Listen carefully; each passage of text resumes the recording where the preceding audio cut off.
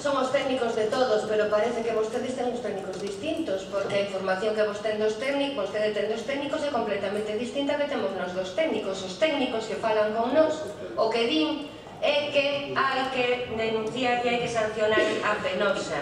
E di que a empresa eh, en que non presentou denuncia. No ano 2012 se puso en contacto para denunciar na Consellería estes feitos, pero como a Consellería non fai nada, claro, di que vaya, eh, que solicite a conexión, que vaya ao xulgado. Entón, para abrir o seu negocio, temos aí a lei de emprendemento, pero vai a estar paralizado 4 anos ata que lle salga o suizo. ¿Mm?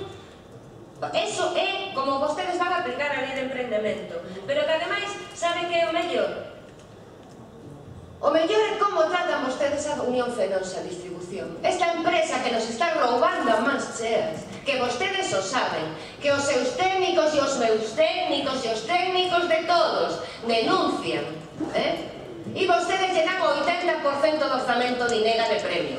Por si non lle chega co que rouban, non vai a ser que lle falten cartos. Ese é o tratamento que teñen vostedes cos ganas trans de nosa. Eh? E os seus técnicos intentan denunciar, pero a propia consellería lle frena as denuncias mirando para outro lado.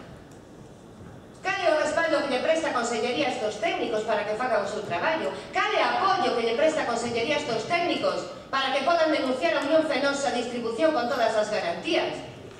Cale o papel que ten a Consellería mirar para outro lado e que sean os técnicos? É que vostede como Conselleiro de Industria non ten ninguna responsabilidade en todo isto. A responsabilidade dos funcionarios.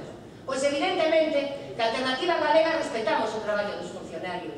E efectivamente, Eh? Confiamos no traballo dos funcionarios, o que igual non confiamos en o traballo dos cargos políticos que deberían velar para que estes funcionarios puderan facer e realizar o seu traballo en condicións dignas e con seguridade lexítima. Nada máis.